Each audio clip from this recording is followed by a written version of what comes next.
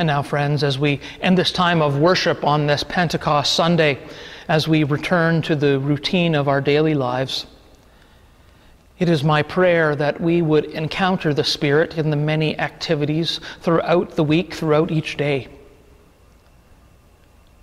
And to know that sometimes the Spirit is loud and fiery and inspiring, and at other times it is a still small voice that we have to strain to hear.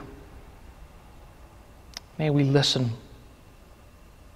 Go now knowing the love of God the joy and the peace of our Lord Jesus Christ, and the strength and the fellowship of the Holy Spirit this day and forevermore. Amen.